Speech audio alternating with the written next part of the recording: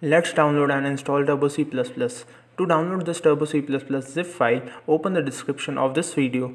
There you will get a link to download this zip file. The size of the zip file is 7 MB.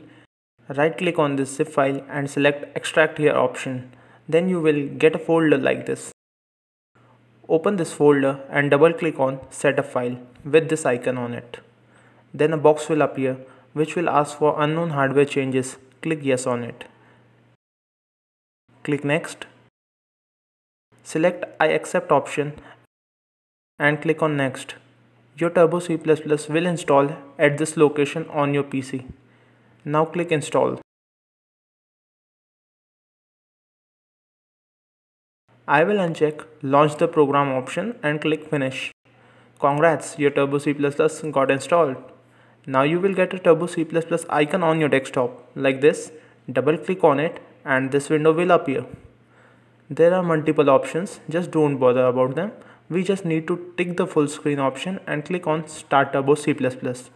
Now we are inside our Turbo C++ editor. To close these already open C++ files, we need to click these green dots over these files. One type of error that can occur is compiler not executing your program. To check for this error, you need to try running a basic hello world program. If program works, then your C++ is working fine. But if not, then you have to uninstall Turbo C++ and try to install it again. Another error which can occur is mouse stops working. As you can see in this video, for solving this error you have to go to menu bar by pressing F10 key on your keyboard as your mouse won't be working. Then try arrow keys and select first option from left side and click on repaint desktop then your mouse will start working again. For adjusting mouse speed, you can go to options tab on menu bar. Click on environment and then on mouse. Then adjust your mouse settings accordingly.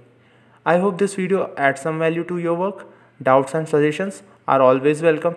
Share this video with whomsoever need this. Subscribe for more C++ related videos. Take care. See you until next time.